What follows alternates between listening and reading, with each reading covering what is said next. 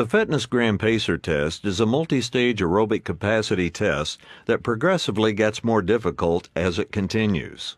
The 15 meter pacer test will begin in 30 seconds. Line up at the start. The running speed starts slowly but gets faster each minute after you hear this signal. A single lap should be completed each time you hear this sound.